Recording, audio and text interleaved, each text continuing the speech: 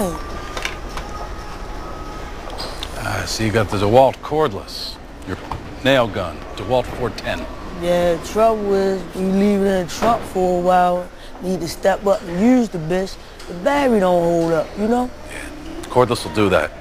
You might want to consider the powder-actuated tool. The Hilti DX460MX or the Simpson PTP, these two are my Cadillacs. Everything else on this board is second best, sorry to say. Are you contracting or just doing some work around the house? No, we work all over. Full time.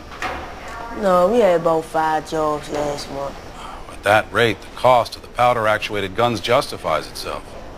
You say powder? Powder. Like gunpowder. Yeah. The DX460 is fully automatic with a 27 caliber charge. Wood, concrete, steel to steel. She'll throw a fastener into anything. And for my money, she handles recoil better than the Simpson or the P3500. Now, you understand what I mean by recoil? Yeah, the kickback. I wish. That's right. 27 caliber, huh? Yeah, not large ballistically, but for driving nails, it's enough. Any more than that, you'd add to the recoil. Man, shit. I seen a tiny ass 22 round nose drop a nigga plenty of days, man. Motherfuckers get up, man, you like a pinball. Whip your ass up. Big joints, though, big joints, man. Just break a bone, you just say fuck it. I'm, I'm gonna go with this right here, man. How much I owe you? 669 plus tax. No, no, you, you just pay at the register. No, man, you go ahead and handle that for me, man. And keep the rest for your time. This is $800. So what, man? You earned that bump like a motherfucker, man. Keep that shit.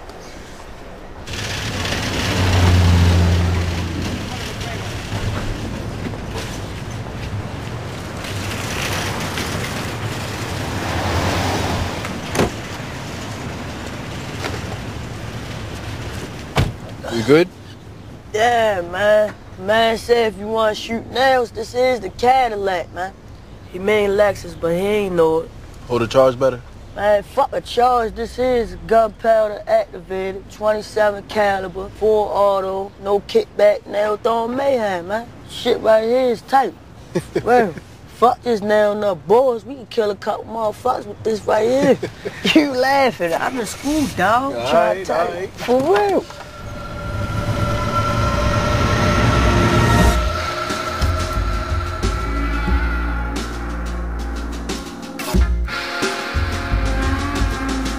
When you walk through the garden, watch your back.